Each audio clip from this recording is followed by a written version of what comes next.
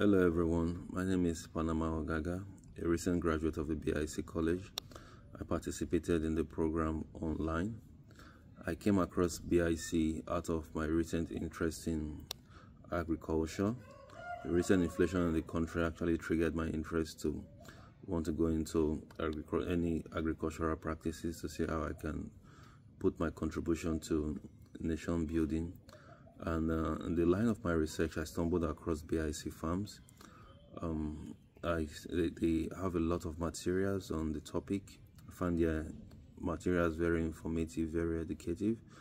And the quest to get more, I registered for their online course. I have to say it has been a very interesting journey. Um, the course was filled with lots of knowledge. Pastor Debo is very vast in the topics. He educates you, he brings you gives you information about recent developments in the programs, recent agricultural practices.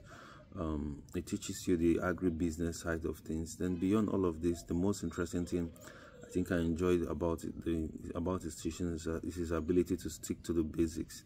You know, so beyond educating you of the history and where things are now, it goes back and reminds you of the basic things that are important. So that way it, it gives you a platform for you to be able to start from anywhere you can you know depends on the level of your capacity.